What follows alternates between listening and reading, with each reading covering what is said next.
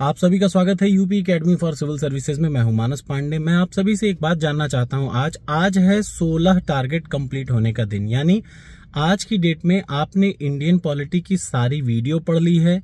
जो जो टॉपिक मैंने बताया, उसको एम लक्ष्मीकांत से पढ़ लिया है प्लस 1100 प्रश्न सॉल्व कर लिए हैं।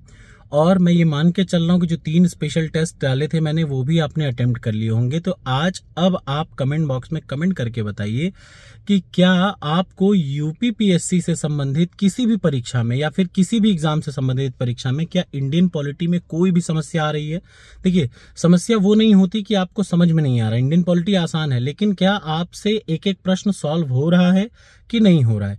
आप सबसे पहले कमेंट बॉक्स में मुझे ये बताइए। अगला टारगेट मैं उसके बाद दूँगा। सबसे ज़रूरी चीज़ यही है और मान लिया आपने अब तक कोई टारगेट छोड़ रखा है तो मैं आपसे यही कहूँगा कि अगला टारगेट शुरू करने से पहले कमेंट बॉक्स में कमेंट करिए कि क्या आपने इंडियन पॉलिटी के सारे टारगेट कंप्लीट कर लिए हैं हाँ कि ना? सिर्फ़ और सिर्फ़ सत्रह टारगेट हैं। सत्रह टारगेट को आप ईमानदारी से पूरा करेंगे एक एक बात को फॉलो करेंगे तो ये आप मान के चलिएगा कि आपका इंडियन पॉलिटी एकदम परफेक्टली तैयार हो चुका होगा। ठीक है?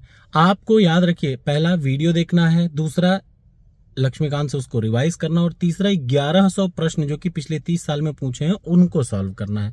और चौथी चीज़ मैंने आपको बताई होगी यूपीपीसीएस के पिछले सालों के प्रश्न पत्र आपको डेली सॉल्व करने चाहिए। बस इतना सा काम डेली आपको करना है, और आपका इंडियन पॉलिटी पूरी तरीके से तैयार हो चुका होगा, ठीक? तो आप कमेंट बॉक्स में कमेंट करिए, इसीलिए ये वीडियो बना रहा हूँ ताकि मैं जान सकूँ आप में से कितने लोगों को अब इंडियन पॉलिटी में कोई दिक्कत नहीं हो रही है। प्रश्न सामने आएगा तो आप उसको पक्के तौर पे सही कर लेंगे। अगर आपको कुछ लगता है तो आप कमेंट बॉक्स में ज़रूर कमेंट करके बताइएगा। ठीक है? Thank you so much comment box में कमेंट करके बताइए।